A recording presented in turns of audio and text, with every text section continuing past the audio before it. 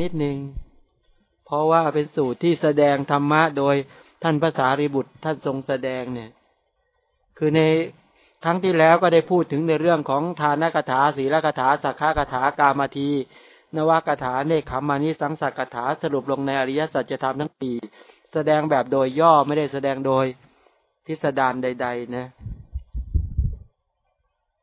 ตรงนี้จะดูในพระสูตรนี้ที่ว่าท่านอนาถาปิณิกาเนี่ยนะ ในอนาถาปิณิโกวาทสูตร สมัยหนึ่งพระผู้มีพระภาคเจ้าประทับอยู่ที่พระวิหารเชตวันก็ที่ตรงนี้แหละ อารามของท่านอนาถาปิณิกาเศรษฐี พระนครสาวัตถี สมัยนั้นอนาถาปิณิกาเศรษฐีป่วยทุกขเวทนาเป็นไข้หนัก ป่วยหนักแล้วตอนนี้ใกล้จะเสียชีวิตแล้วนะ ท่านก็ดำรงชีวิตของท่านด้วยกทานนาบดีเป็นทานนาบดีมาทั้งชีวิต ดูแลอุปถากพระสัมมาสัมพุทธเจ้าสาวกของพระผู้มีพระภาคเจ้าทำกิจของตนเองตามหน้าที่อย่างมากมายหาประมาณไม่ได้เลยใช่ไหมเจตนาทานที่ท่านหวานลงในศาสนาของพระชินเจ้าอันประเสริฐเนี่ย ท่านทำมาอย่างต่อเนื่องทำทุกวันไหมทำทุกวัน ท่านเข้าวัดทุกวันนั่นแหละ ท่านไปท่านก็ชื่นอกชื่นใจทุกวันในการติดไม้ติดมือไปในการที่จะนำ อาหารนำของกินของเคี้ยวทั้งหลายเหล่านี้นะ ท่านไปตามเวลาท่านรู้ข้อมูลไหมอนาถาปินทิกาเศรษฐีเนี่ยรู้ไหมว่าสัพพุริสทานห้าเนี่ยอนาถาปินทิกาเศรษฐีท่านจะรู้ไหมท่านรู้ไหมว่าศรัทธาทานการให้ด้วยศรัทธาเชื่อกรรมและผลของกรรมชัดเจนใช่ไหมท่านรู้เกี่ยวในเรื่องของสักกัจจทานไหมกรณีการให้ด้วยความนอบน้อมให้ของสะอาดเป็นต้นเหล่านี้ท่านก็ต้องรู้ใช่ไหมแล้วนาถาปินทิกาเศรษฐีท่านก็รู้การละทานว่าการไหนควรให้อะไรเป็นต้นเหล่านี้ แก่บุคคลไหน พระภิกษุประเภทไหนควรให้อย่างไรควรจะเดินทานในกุศลอย่างไร พระที่มีร่างกายผอมๆเวลาท่านจะไปถวายจีวรท่านก็ถวายจีวรแบบไหนดีเนี่ยนะพระที่มีร่างกายอ้วนๆอย่างเงี้ยท่านก็ถวายท่านถวายของเป็นหมดแหละ อาหารหวานคาวอะไรต่างๆท่านพิจารณาไม่ใช่อย่างเราเนี่ย เราใจเราเป็นใหญ่ชอบอะไรก็เอานั่นเลยไปให้ แต่มากเราเป็นอย่างนั้นหรือเปล่าเวลาให้ทานเนี่ย เอาตัวเองชอบ ดีนะไม่ชอบเหล้าชอบสุราสุราเหล้าไปถวายผ้ายุ่งนั้นการละทานสำคัญไหมเหมาะสมแก่การเหมาะสมแก่บุคคลทั้งหลายเหล่านี้เนี่ยผลก็ต่างกันออกไปนี่บอกเรียบร้อยไปเสร็จแล้ว แล้วก็นุขีตาทานก็คือให้แบบสละอย่างเด็ดขาดเลยเนี่ยนะไม่ยึดติดแล้วประการต่อมาคือให้แบบไม่กระทบตนและบุคคลอื่นนั้นท่านเศรษฐีท่านฟังข้อมูลเหล่านี้มาอย่างดีนะ และท่านก็แยกแยะได้ในเรื่องของทานเนี่ยนั้นท่านเศรษฐีท่านจะเข้าใจทั้งทาสทานทั้งสหายทานทั้งสามีทานเนี่ยท่านก็เข้าใจรายละเอียดตรงนี้เยอะ ถ้าพูดถึงทานนี่นะ ในส่วนของทานเนี่ยเศรษฐีเนี่ยท่านมีข้อมูลในเรื่องของทานอย่างดีแล้ว ไม่ว่าจะเป็นในส่วนของทานกุศลที่ท่านมีความเข้าใจเป็นอย่างดีเนี่ย ยกตัวอย่างเช่น หมวดทานต่างๆเหล่านี้นะในเรื่องของทานเนี่ย สามีทานเนยธรรมทานท่านก็เข้าใจ การให้ทานด้วยมือของตนเอง หรือการใช้ให้ผู้อื่นให้ หรือสัมปชานทานสัมปชานทานการให้ทานที่แบบมีข้อมูลมีความรู้ความเข้าใจในผลของทานอย่างดี การการให้ทานที่ไม่รู้ไม่มีข้อมูลไม่มีความรู้ในผลของทานเป็นอย่างดี อย่างเราเนี่ย ถ้าถามว่าให้ข้าวเนี่ย เรารู้ไหมผลของการให้ข้าวเป็นยังไง ให้น้ำผลของการให้น้ำเป็นยังไง ให้เสื้อผ้าผลของการให้เสื้อผ้าเป็นยังไง ในรายละเอียดต่างๆเหล่านี้ในรายละเอียดเดี๋ยวเวลาขึ้นบนรถเดี๋ยวพระท่านจะไปแจกแจงให้นะ เช่น ให้ผ้าเป็นทานจะได้อะไร ให้น้ำเป็นทานจะได้อะไร ให้ของหอมเป็นทานจะได้อะไร ผลยังไงไม่สร้างเหตุแบบนี้จะได้ผลยังไง ให้ข้าวเป็นทานจะได้ยังไง อย่างเงี้ยสร้างที่อยู่อาศัยเป็นทานแล้วจะได้ยังไง ให้อาสนะเป็นทานแล้วจะได้อย่างไร อย่างนี้เป็นต้นเนี่ย ในรายละเอียดตรงนี้อีกเยอะเลยนะเรื่องทานเนี่ย ท่านเศรษฐีไม่ต้องเป็นห่วงท่านเพราะท่านชำนาญเรื่องทาน ถึงเป็นทานบดีเนี่ย แต่เราเนี่ยยังไม่ชำนาญเรื่องทานเลยพอพูดเรื่องทานบางทีเรานึกว่าเราเข้าใจแล้วไง แต่เรายังไม่รู้รายละเอียดเลยนะว่าให้แบบนี้ผลยังไงยังไง วางใจอย่างนี้จะเป็นยังไง วางใจด้วยความโลภโกรธหลงนี้จะเสียหายยังไงจะจะเศร้าหมองอย่างไรอย่างเงี้ยในรายละเอียดนั่นก็คือสัมปชัญญะทานการมีข้อมูลความรู้ความเข้าใจในผลของทานอย่างดีด้วย เขาเรียกสัมปชานทานอสัมปชานทานก็คือว่า ผลของทานเนี่ยนะก็ถ้าถามบอกว่าสัมปชานทานการทำที่มีความรู้ความเข้าใจกับสัมปชานทานเนี่ย ถ้าสัมปชานทานเมื่อเวลาส่งผลแล้วให้ผลเป็นผู้มีทรัพย์ สมบัติพร้อมด้วยปัญญาเป็นต้นนะอย่างเงี้ย การให้แล้วมีมีความเข้าใจอย่างดีเข้าใจละเอียดละอองเข้าเข้าใจสีเสียงกลิ่นรสสัมผัสแล้วก็ทำอารมณ์อย่างดีของทานนั้น เวลาทานนั้นให้ผลเนี่ยนอกจากมีทรัพย์ไม่พอยังเป็นคนฉลาดด้วยอย่างเงี้ยเคยเห็นคนรวยแล้วเป็นโรคเอ๋อไหมแบบปัญญาอ่อนเนี่ยเยอะเลย เออ เอางี้รวยอย่างสูงสุดเลยแต่กลายเป็นคนโง่เอาไหมเป็นคนโง่แต่เป็นเจ้าของทรัพย์ เสียเป็นเป็นมีเงินร้อยล้านแต่โง่เอาไหมไม่เอาก็ไม่ได้ถ้าสร้างเหตุแล้ว ถ้าสร้างเหตุเหตุเป็นแบบนั้นแล้ว ผลก็ต้องได้อยู่แล้วใช่ไหมมันไม่ใช่ว่าเรา ว่าทำอย่างนี้แล้วมันจะได้นะ มันต้องว่าสร้างเหตุถูกไหมถ้าประกอบเหตุถูกเอาถ้าสร้างให้ทานไปแล้วหงุดหงิด เนี่ยไปทำบุญมาเบ็ดเสร็จพอกลับมาแล้วก็มาโกรธเงี้ย อันนี้เขาเรียกให้ทานแล้วมีอะไรเป็นบริวาร มีโทสะเป็นบริวารต้องระวังไว้ถ้าให้ทานมาแล้วกลับมาก็มาลุ่มหลงมัวเมาถีนะมีท่าครอบงำอันนี้เสียอีกก็มีพวกนี้เป็นบริวารอีกฉะนั้นให้ทานก็ต้องให้สว่างสวัยทั้งวันดีไหม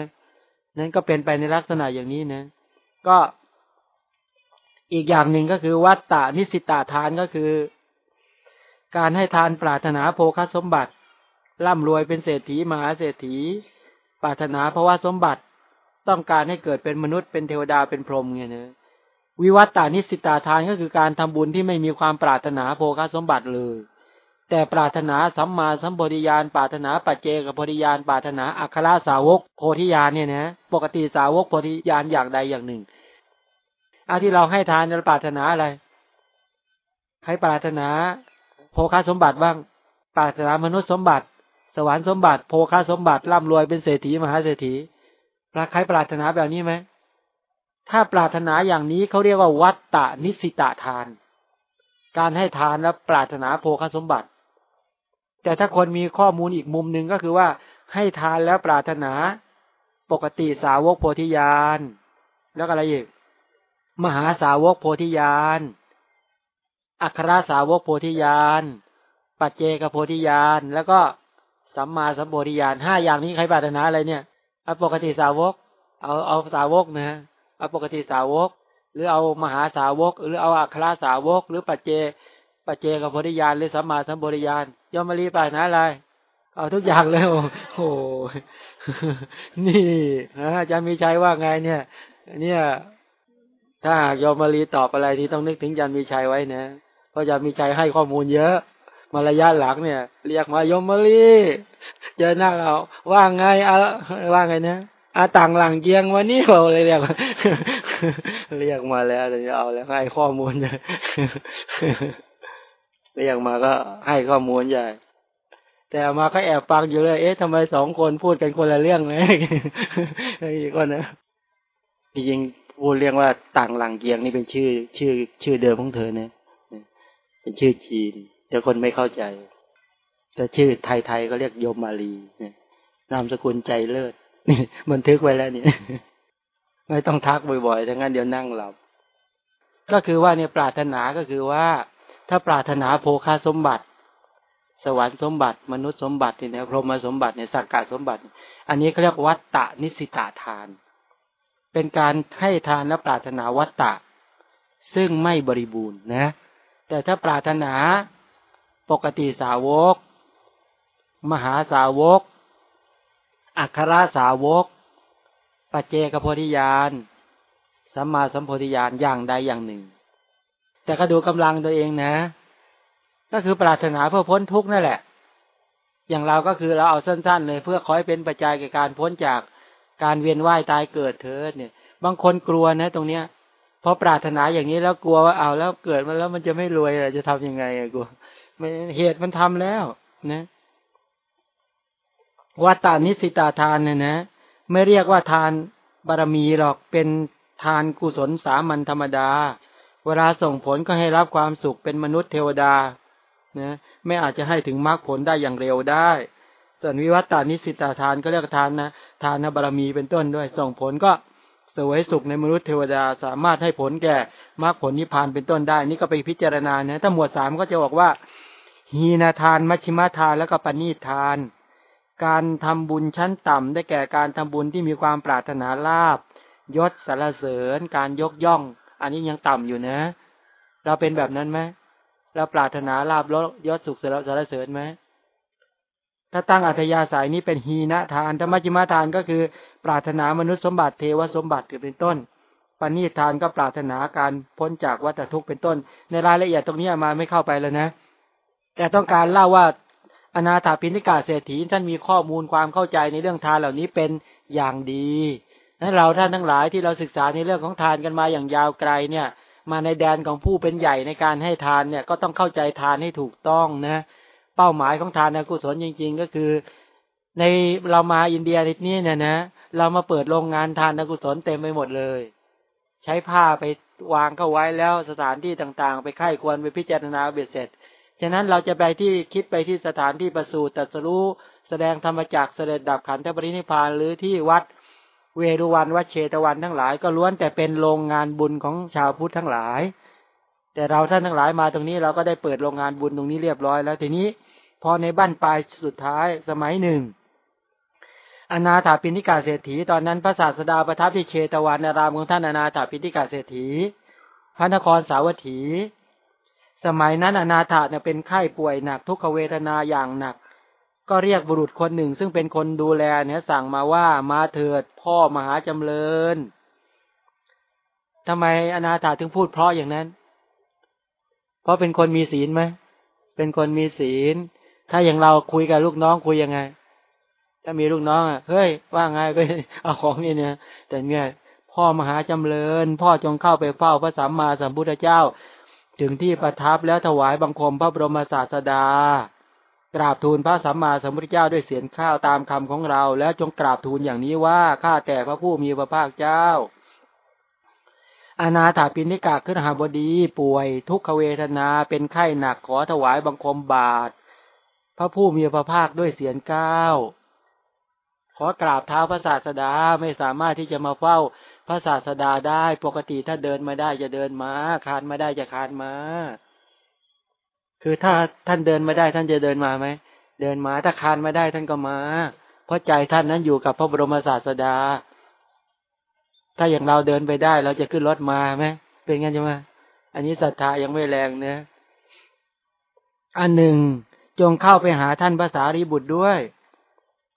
แล้วก็กราบทูลกราบเท้าท่านภาษาริบุตร ตามคำของเราอย่างนี้ว่าข้าแต่ท่านผู้เจริญ อนาถาปินทิกาเศรษฐี ป่วย ทนทุกขเวทนาเป็นไข้หนัก ขอกราบเท้าท่านภาษาริบุตรด้วยเสียงกล้าวและ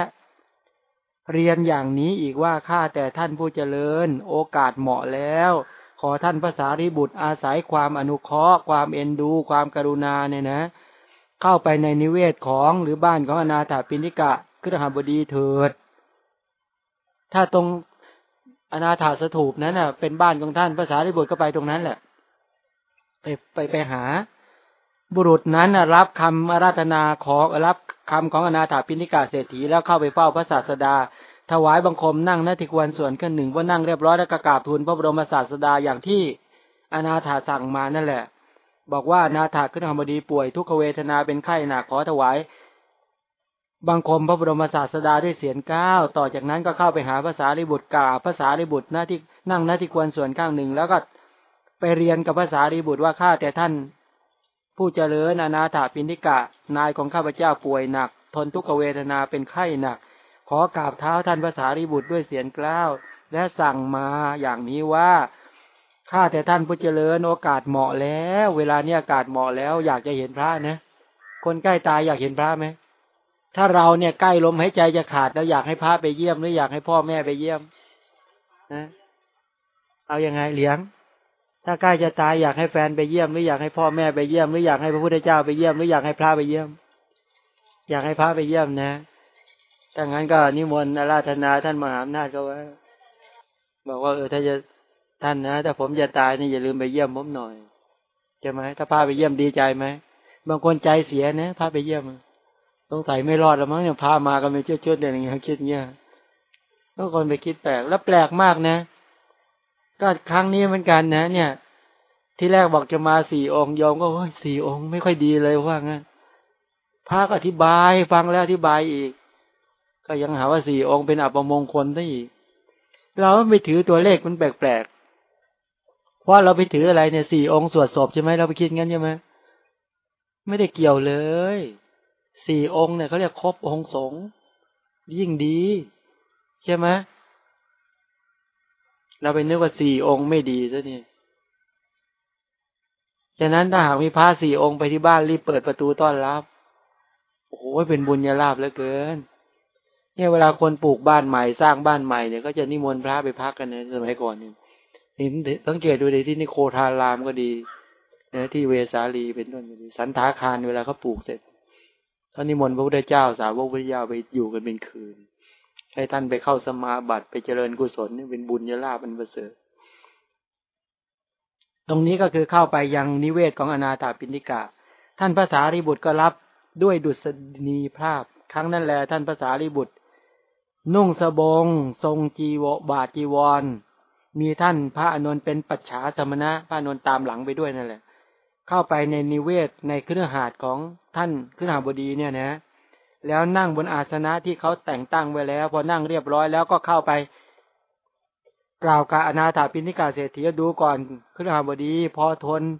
พอเป็นไปได้หรือถามเลยเป็นยังไง ป่วยหนักไหมเนี่ยเข้าไปพาก็ไปถาม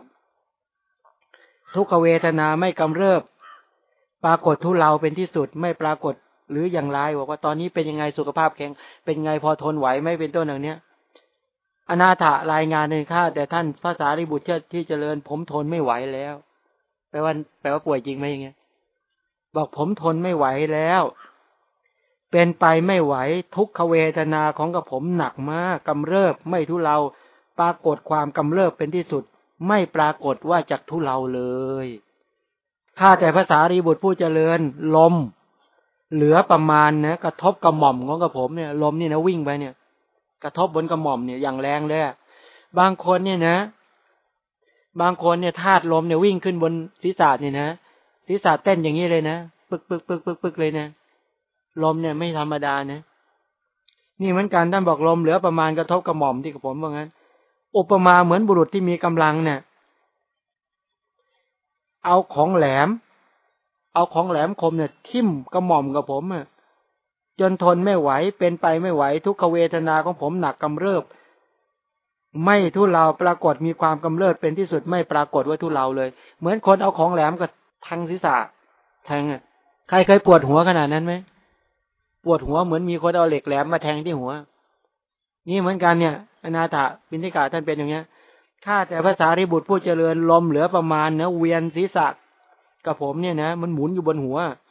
เหมือนบุรุษเนี่ยกำลังใช้การขันศีรษะเขาเรียกขันสนอก